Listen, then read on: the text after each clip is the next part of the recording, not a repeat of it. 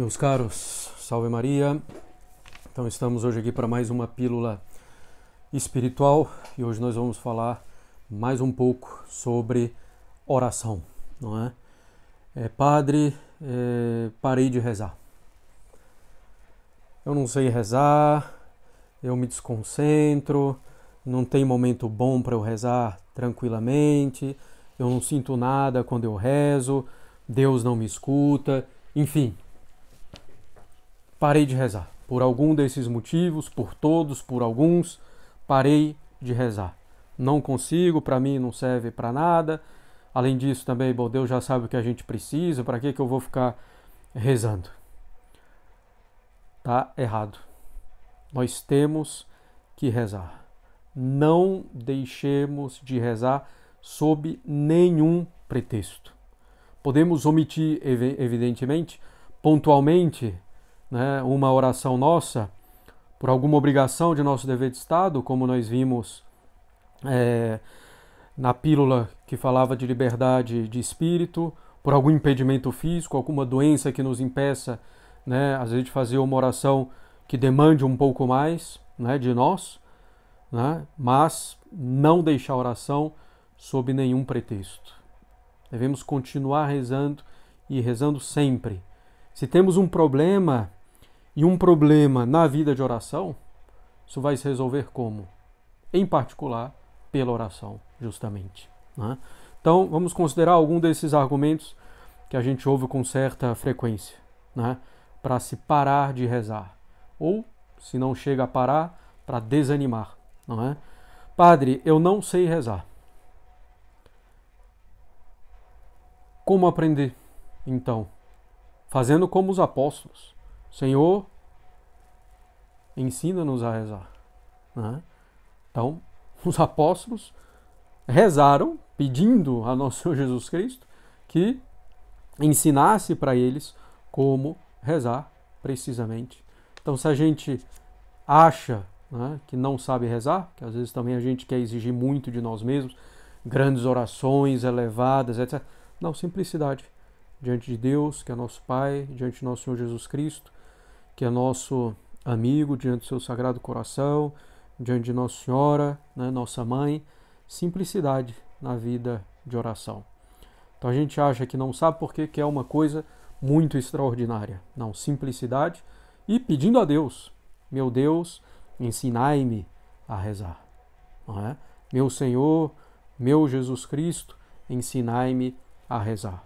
Então é assim que a gente aprende em primeiro lugar. Claro, a gente pode, deve ver no catecismo, nós temos aqui o nosso catecismo né, de adulto à disposição de todos e tem lá tópicos, né, aulas é, sobre a oração e dizendo quais são as qualidades de uma boa oração e isso ajuda muito. Mas pedir a Deus que nos ensine, pedir a Nosso Senhor que nos ensine, pedir a Nossa Senhora que nos ensine, pedir ao nosso santo de devoção que nos ensine. Então eu não sei rezar, como é que se aprende? Rezando. Uhum. Padre, eu parei de rezar porque eu me desconcentro. As distrações na oração podem. É, bom, primeiro existem distrações voluntárias e involuntárias, né? As distrações voluntárias, simplesmente a gente combate, não é? E as distrações voluntárias também, por isso simplesmente. Mas a gente precisa ver se de algum modo nós não estamos sendo causa dessa distração pelo nosso estilo de vida, pela falta de mortificação em alguns aspectos. Então, a gente precisa ver, de algum modo, eu tenho provocado essa desconcentração durante a minha oração, e aí nós vamos considerar alguns aspectos que podem ser causa de distração no momento da oração. Primeiro, digamos, algo mais né, da natureza de cada um, o temperamento. Tem temperamentos que são mais é, levados naturalmente a distração, por exemplo, um temperamento sanguíneo muito imaginativo, muito é, ativo. Né? E aí a gente tem que ir corrigindo, evidentemente, os erros é, dos nossos, as, as más inclinações do nosso temperamento. Lembrando que temperamento em si é indiferente, evidentemente. Né? Cada um tem seus, suas qualidades naturais, seus defeitos, importa tornar sobrenaturais essas qualidades sobrenaturais, ordenando a Deus pela caridade, importa é, combater é, os defeitos. Não é? Então, às vezes é o próprio temperamento, e a gente vai então é, trabalhando o nosso próprio temperamento com a ajuda da graça, evidentemente. Outra causa muito comum de distração na hora da oração é que a gente não aplica aquele velho ditado latino ad equodades, faça o que está fazendo. Ainda mais hoje, né, circundados de coisas eletrônicas, nós fazemos uma coisa fazendo várias outras ao mesmo tempo. Então estou conversando com uma pessoa aqui, ao mesmo tempo mandando mensagem, e ao mesmo tempo mandando mensagem para outra, ao mesmo tempo ouvindo o que está sendo dito ali, né, no, no, no na, na internet, etc. Então, a gente se acostuma a fazer várias coisas ao mesmo tempo sem se concentrar em uma só. Na hora que nós vamos rezar, procurando nos concentrar em uma só, nós não conseguimos. Então é importante a gente procurar aplicar isso, né, de que falam também, evidentemente, os autores espirituais. Ad codades. Fazer o que estamos fazendo. Né? Outra coisa é muito comum, que nos agita e prejudica a nossa concentração na hora de rezar e para os estudos também. Meios eletrônicos, sem a devida moderação, mesmo naquilo que for é, completamente lícito. É preciso procurar moderar bastante os meios eletrônicos que mexem bastante né, com, no, com, a nossa imaginação e, consequentemente, também com as nossas é, paixões, né, com os sentidos externos, com a imaginação, um, um dos sentidos internos, também com o apetite sensível né, as nossas paixões. Muita moderação, né, um uso ordenado para uma finalidade boa e ainda assim moderado né, no tempo, em particular. É, então, bastante moderação. Quando eu digo meios eletrônicos, bom, incluindo né, é, televisão, filmes, etc. Claro, nessas coisas é difícil encontrar algo que não ofenda a nossa fé ou a moral, em particular a castidade. Mas mesmo naquilo que for lícito é preciso ter moderação, senão nós ficamos agitados, aquelas imagens são muito fortes e vão então prejudicar a nossa concentração, em particular no momento da oração. Né? E claro, bom, tudo aquilo que nós já fizemos pelo passado, já não podemos, né, senão procurar combater a memória. Aí nós entramos no outro ponto, né? muitas vezes a desconcentração na oração é por falta de mortificação da imaginação ou da memória. E essa mortificação não é simplesmente impedir né, memória de coisas pecaminosas ou imaginação de coisas pecaminosas. Isso é estritamente obrigatório para cada um de nós, né? impedir ou combater quando vem. Não temos um poder despótico né, sobre a nossa imaginação e a nossa memória sensível, mas um poder que se chama político. Quer dizer que não basta dizer memória, não traga isso né, de volta, imaginação agora pare de imaginar isso, não funciona assim, né? Como funciona, por exemplo, com nossa mão. Mão, levanta. Pronto, abaixa. Pronto. Né? Mas com a nossa imaginação e com a nossa memória não funciona assim. Então, o poder político de persuasão. Então, eu tenho como que eu tenho como que convencer a minha imaginação a imaginar outra coisa, dar outros objetos. Né? Então, a gente precisa mortificar a nossa imaginação, não só no que é ilícito, pecaminoso, mas mesmo que não sendo pecaminoso nos é inútil, não é proveitoso de algum modo. Né? Então, e também com relação à memória, ficar vagueando sem propósito, sem realmente ter algo útil em vista. Se a gente deixa a nossa imaginação, nossa memória né, sensível muito solta sempre, ainda que não sejam coisas pecaminosas, então elas vão ter essa vida própria, essa liberdade muito grande, e aí, na hora da oração também, né, vão ter essa vida própria, a imaginação então traz imagens mais diversas e a memória trazendo também essas imagens né, de volta. Então é preciso mortificar e ordenar nossa imaginação, nossa memória, dando bons objetos. Né? E quando a gente percebe que é inútil, é? ou pecaminoso, claro, então a gente traz de volta a nossa imaginação para o que é bom, para o que é útil, né? para ordená-la ao bem, a Deus em última instância. Padre, eu parei de rezar porque não tem um momento bom. Sabe como é que é lá em casa? É, tem os familiares, as crianças pequenas, muito barulho, muita agitação. Aí eu começo a rezar às vezes assim, aí não consigo me concentrar, aí fico esperando para começar no final do dia, quando todo mundo já tiver dormido, e aí eu durmo também, Bom, claro. Né? Então, a gente não deve fazer, talvez seja um tema aí para uma próxima pílula, do ótimo inimigo do bom. Querendo me concentrar ao máximo, ter o silêncio na casa, né, para poder rezar da melhor maneira possível, termina que eu não faço nem o que é bom. Procurar me esforçar para rezar, no momento que às vezes está um pouco mais agitado, né, em casa, no ambiente. Então, não, se eu não tenho né, esse momento ideal para rezar, eu rezo no momento possível, com as condições possíveis, certo? Se de algum modo eu consigo dispor as coisas né, externas para melhorar, tudo bem. Mas se não, eu faço o que é possível. Eu faço o bem que me é possível naquele momento. Não deixo de fazer o bem porque eu gostaria de fazer algo melhor, mas que no momento me é impossível, certo? Então não tem momento ideal, não tem um momento bom, eu pego o momento que me é possível para rezar e fico combatendo as distrações. Se a gente passa a oração inteira combatendo as distrações, já vai ser uma boa oração. São Luís Maria Grão de Montfort dizia que é impossível rezar uma Ave Maria praticamente, né, sem ter uma distração importa é combater essa distração. E se a gente identificou que nós somos, né, de alguma forma, causa da distração, pelo uso né, desordenado de eletrônicos, né, fazendo várias coisas ao mesmo tempo, sem ter real necessidade, não mortificando a imaginação, a memória. Então, e se eu identificar isso, né, que eu estou favorecendo uma dessas causas, favorecendo a distração né, por agir assim, aí, claro, eu tenho que é, melhorar e fazer por onde. Né? Se eu perceber, bom, estou realmente procurando moderar os eletrônicos, corrigir né, os defeitos do meu temperamento, fazer o que eu tenho que fazer, né, sem fazer várias coisas ao mesmo tempo, tenho procurado mortificar a imaginação e memória, claro, a gente sempre pode melhorar. Mas ainda que a gente esteja fazendo esforço, às vezes Deus permite uma distração para nos dar humildade, né, para a gente continuar ali combatendo humildemente para fazer uma boa oração.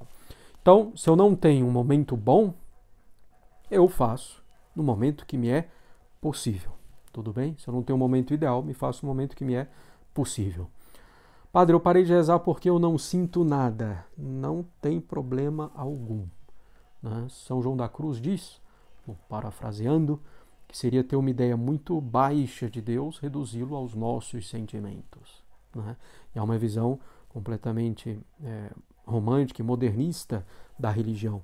Não devemos é, tolher, destruir os nossos sentimentos, os nossos afetos, seria um absurdo, mas na vida espiritual, tampouco devemos buscá-los, desejá-los, né, como indicativo da nossa amizade com Deus. Não. Né?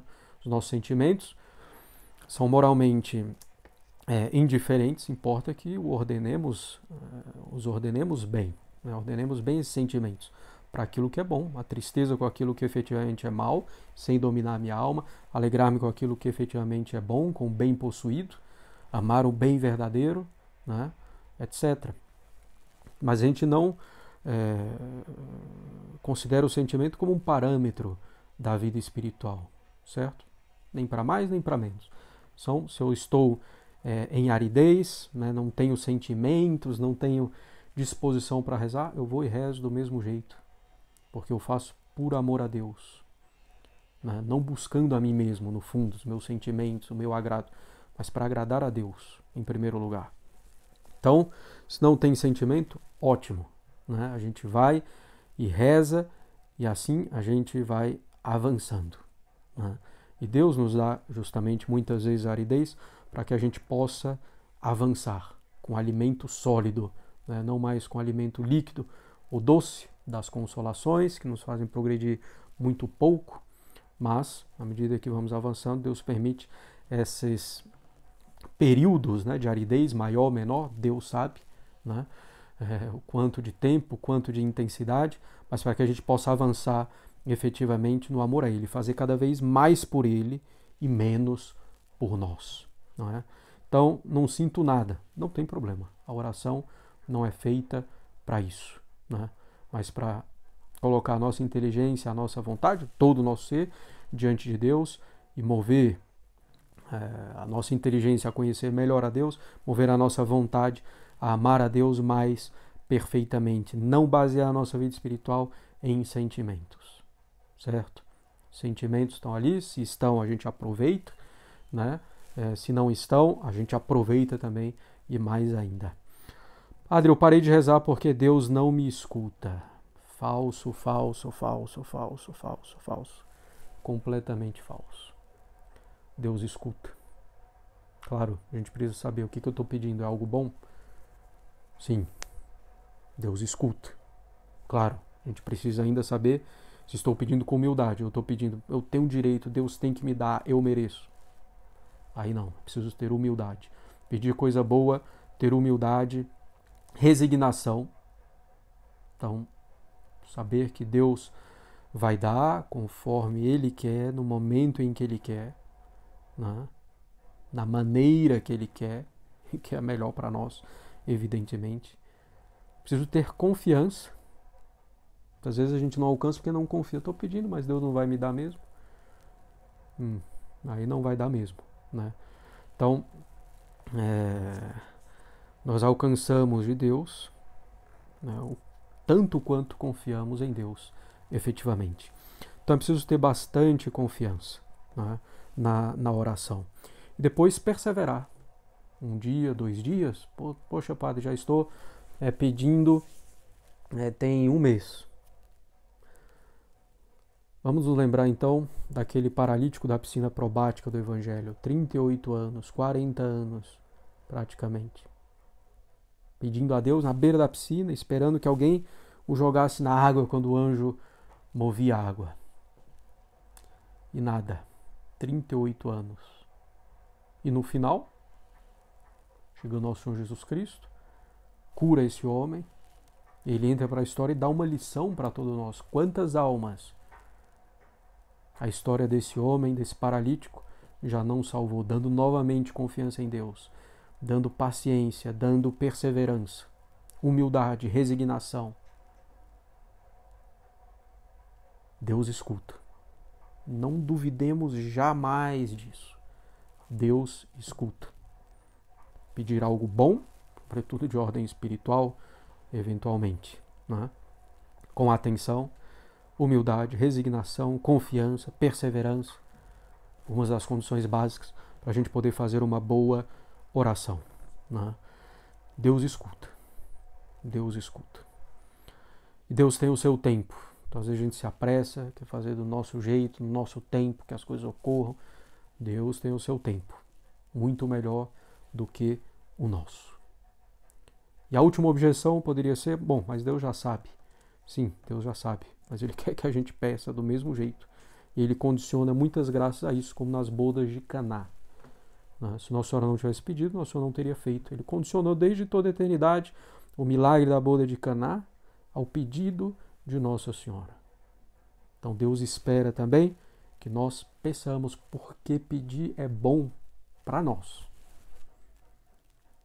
Nos dá confiança em Deus, nos faz reconhecer a onipotência divina, a sabedoria divina, nos dá humildade, nos faz falar, conversar com Deus.